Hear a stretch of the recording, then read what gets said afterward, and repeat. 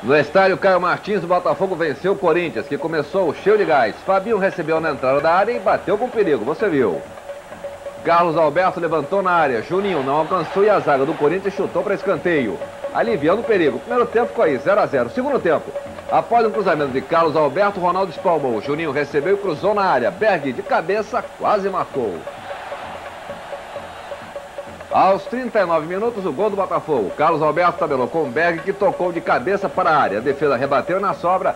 Renato cruzou na medida para Luizinho. De cabeça marcar o belo gol. É isso aí. Botafogo 1, Corinthians 0.